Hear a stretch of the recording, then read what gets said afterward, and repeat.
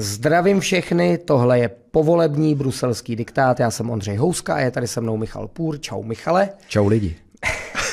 My natáčíme v pondělí v 8 ráno přesně, takže to prosím mějte na paměti, když říkáme nějaký někdy třeba ještě průběžný výsledky. A tento díl, na rozdíl od naší zaběhnuté praxe, nezveřejníme v úterý ráno, ale jakmile natočíme, tak co nejdřív se budeme snažit dostat ho k vám, protože mám dojem, že je teda toho k hodnocení spousta, spousta, spousta.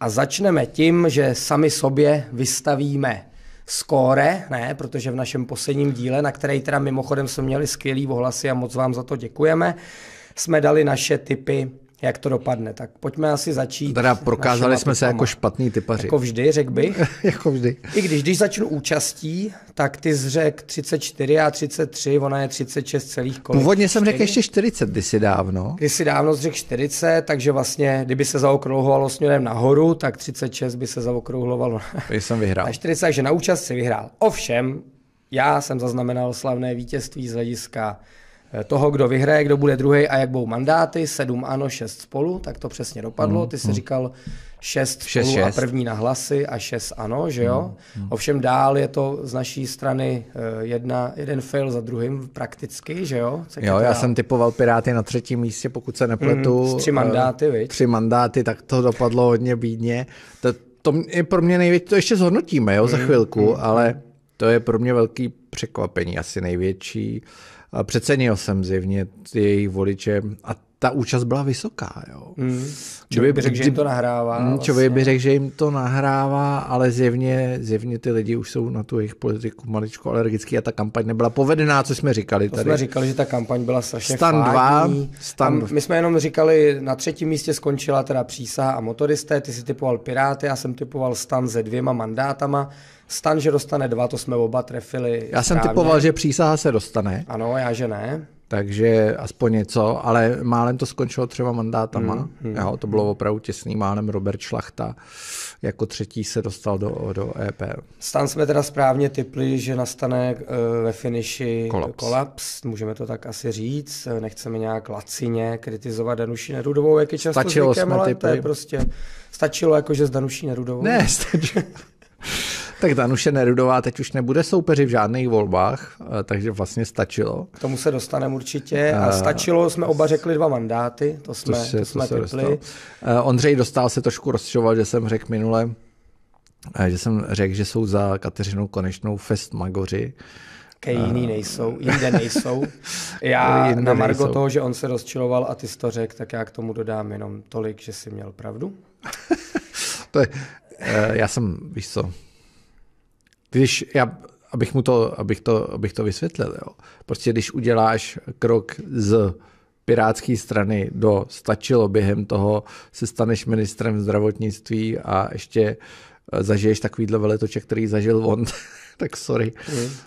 Já myslím, že o míře, o míře eh, magoroidnosti... Ale jakoby vlastně dobrý, jako on vysekal maximum eh, jo. z těch svých postojů a, uh, tak dotáhla ho tam Kateřina Konečná. Dotáhla ho tam obrovským výtlakem. No ale on ji určitě neuškodil, spíš Jasně, jako on, pomohl. On do, vydělal na tom, že byl jako asi jediný trochu známý z té magorské kandidátky, jinak, že to byli no-name lidi. Že jo. O míře lucidnosti, nebo o míře ma, magoro, magoroidnosti té kandidátky vypovídá to, že Ondřej dostal z ní určitě nejlucidnější. Jo, Ondřej dostal z, z těch jako zástupů těch lidí za Kateřinu konečnou je určitě nejnormálnější. Jo, uh, zapomněli jsme na někoho? Jsme zhodnotili všechno? Uh, ne, ještě SPD. SPD a to bych, to ano, bych tady, to je moje velký vítězství, to velký vítězství, protože já jsem typnul, že Ivan David přeskočí Petra Macha a budou mít jeden mandát, tudíž Petr Mach se nedostane. Což pro něj musí být strašný zklamání. Strašný, no. Si vezmi, že spojíš svoje jméno s SPD, necháš se vyvěsit na každý plagát v každý zatáčce a pak ti to nedopadne. Hmm, hmm, jo? Hmm. Je to samozřejmě tak. Tvoje politická naprostý, kariéra je u konce. Naprostý vylágoš pro Tomia Okamuru, který udělal ten letah, že ho tam z ničeho dosadil, jako para, byl parašutit, jak se říká anglicky, používají tenhle výraz, schozen z nebe prostě na to první místo. V normální politické straně by to jistě mělo důsledky pro Tomia Okamuru, ale tady samozřejmě. On tady to bude mít důsledky stranu, pro Petra Macha. Tady to bude mít důsledky pouze a jedině pro pěšáka, nikoliv pro náčelníka. No, zajímavý. No, eh, takže eh, dopady tohohle všeho na Česko proberem teďka? Jo. Takže, co, co tomu říkáš vlastně? Hele, Velký vítězství ano a Kláry Dostálový, Andreje Babiše samozřejmě, ale Kláry Dostálový to musíme zdůraznit. Já jsem se na to koukal, ona dostala přes 170 tisíc preferenčních hlasů za těch 20 let, co jsme v EU a volili jsme v eurovolbách kolikrát? 2004, 2009, 2014, 2014. Po pátý volíme v eurovolbách, nikdy žádný kandidát nedostal tolik hlasů jako Klára Dostálová. Absolutní historický vítěz, Filip Turek na druhém místě, mimochodem v preferenčních hlasech a taky historicky vlastně. 152 tisíc, něco takového. Velký výsledek Kláry Dostálový na to, jak za mě vlastně nebyla moc vidět, jo, tak když kandidujete za ANO, tak z logiky věci nikdy nebudete ten první. Že jo? Ale podcenili jsme to oba, hmm, určitě. Hmm, hmm, hmm. Zjevně není tak slabý lídr kandidátky, jak jsme si mysleli, oblíbená. Já jsem ti říkal v minulosti, že ji mám celkem rád, protože si myslím, že na MMR odvedla dobrou práci, hlavně kolem stavebního zákona. Uh, takže mě to nějak jako ne, nepřekvapilo, určitě, určitě má schopnosti. Určitě na MMR předvedla lepší výkon než jeho současné osazenstvo, to jako stoprocentně. To nevím, ale takže, takže ale uh, jako vítězství Andreje Babiše v suchým triku úplně. Hmm, hmm. Já jsem čekal vítězství, že jo, typoval jsem to, ale asi ne o 4% body, řekl bych, že hmm. typoval bych býval. Při účasti 36%. Jo, jako Petr Fiala v tom povolebním hodnocení řekl, že to není nějak ani zklamání, ani úspěch, něco takového. Tohle, když řekne, tady ta diplomatická věta, tak je jasný, že to je prohra prostě. Jo, to, jestliže nejste schopný zvítězit ani v těchto specifických volbách, tak jak dopadnete v parlamentních, kdyby byly zítra že jo, může se toho za rok a čtvrt nebo kolik stát Špatně. Spousta, ale ty máš dobrou historku, asi nebudeme jmenovat toho, toho ministra, že jo, ale, ale říkal si přece, že ti jeden jo, ministr jo, se jo. strašně divil, jak to, že jsme nepopulární. Jo, jo a to není sám, jo. Uh, oni se, část z nich se diví, že, že ta vláda není populární. Já jsem si myslel, že jako vím, že vláda není populární, konec konců objeli jsme tady celý Česko a víme, že to tak jako fakt je. Ale já jsem třeba v tom svém typu podle mě totálně podcenil tu nepopularitu. Jo. Proto jsem typoval, jak jsem typoval a Uh, jako bezesporu je spolu síla jediná, která může ohrozit Andreje Babiše. Stan ani Piráti to nepochybně nejsou. A, uh, ale ten výsledek je vlastně špatný do budoucna pro ně. Jo, jo, jo tam... tam se musí řada věcí změnit, jako když se nic nezmění, tak si jdou pro porážku. Já jsem se o tom bavil s Martinem Buchtíkem, ředitelem STEMu, a ten říkal, jo, podíváte se na průzkumy, tak ty Eh, vládní strany, té pěti koalice, to jsou stovky tisíc, vysoký stovky tisíc, možná víc voličů, kteří jsou jakoby nespokojení s vládou a v těch do českého parlamentu průzkumech deklarují, že vlastně nepůjdou volit. Ne, že by nutně odcházeli k ANO nebo k jiný opozici, nemají moc kam, ale že prostě jsou zklamaný, nepůjdou volit. A říkal Martin Buchtík, kdyby tady spolu vyhrálo, tak tyhle ty lidi to může mobilizovat, jako ve smyslu nakopnout, no tak podívejte, dáme jim ještě šanci, přece jenom Babiše nechceme. No ale jestliže zaostanete 4% body v těchto volbách, který vám mají z definice nahrávat, tak to fakt není dobrý výsledek. Pro Andreje Babiše tyhle volby mají ještě jednu, jednu výhodu, že jsou to evropské volby, jo? není třeba přeceňovat ten výsledek, ale, ale objevují se prostě možnosti na koaliční partnery, mm, uvidíme, mm, jak dopadne mm. Kateřina Konečná, když rebranduje komunisty. A přísaha taky jako fantastický výsledek, to tomu se asi nedá nic říct. Jo jako neskutečný. Takže já to spolu vnímám, že ten výsledek zavostal trošku za očekáváním. Hmm. Vyjádřeno mandáty je to vlastně v součtu o dva mín, než měli doposavat.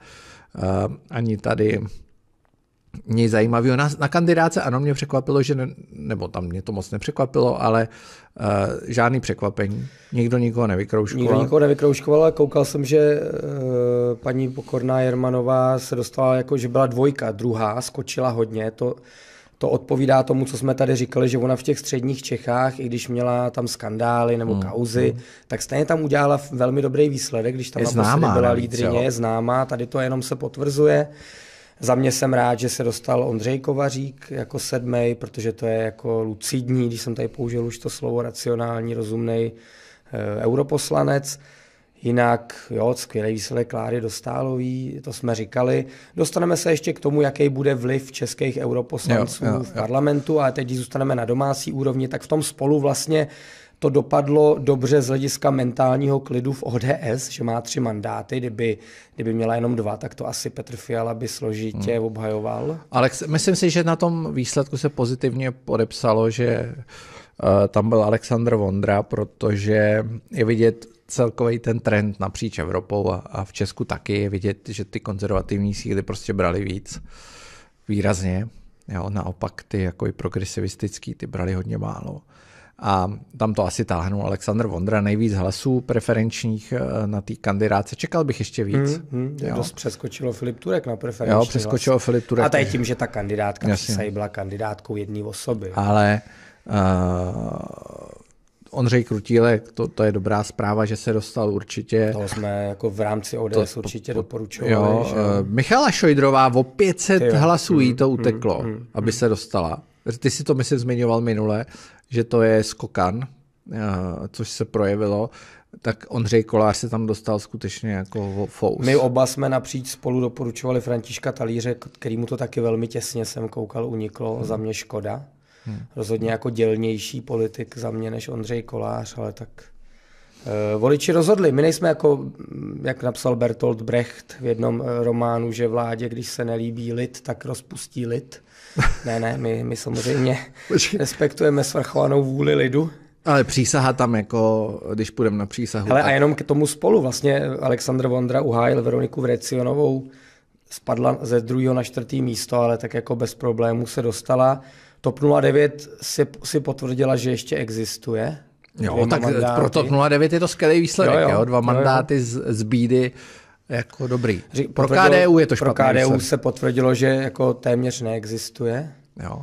Jeden Tomáš mandát, to má, a to bylo jasné. Nevím, jak skončil jo, na preferenční hlasy. bude mít mandát.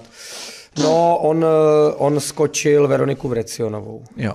Takže se posunul o jedno místo. Posunul se o jedno místo. Luděk Niedermayer a on, to bylo jasný, že tyhle dva lidi dostanou asi do skroužků, ale teda žádný další lidovec už tam není, což jestli si správně vybavuju poprvé v dějinách, má KDU ČSL jenom jednoho europoslance, mývala dva, jedno v období dokonce tři. Teď zase dva. No, uh, spolu... Teď zase jedno. Jo, teď zase jednoho, no už melu nesmysl. Stával jsem ve čtyři. Spolu nic moc. Spolu nic moc celkově. Děkujeme, že jste doposlouchali bruselský diktát až sem. Pokud chcete slyšet i zbytek podcastu, tak tak můžete učinit za malý poplatek na platformách Hero Hero a Gazetisto. Eh, my jsme s Ondřejem rozebrali úplně do detailu eh, český výsledek voleb a taky voleb evropských a probrali jsme řadu dopadů, které to bude mít, Ondřej.